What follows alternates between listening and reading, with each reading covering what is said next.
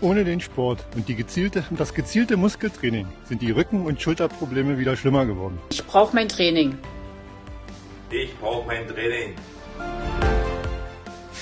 Ich brauche mein Training. Ich brauche mein Training. Ich brauche mein Training.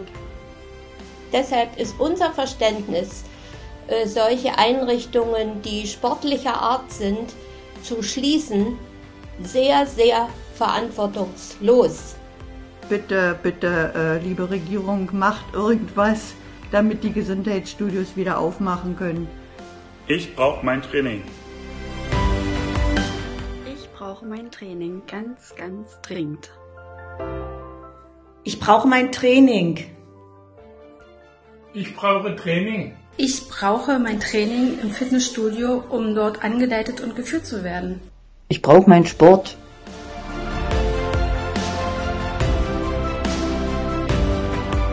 Ich brauche mein Training.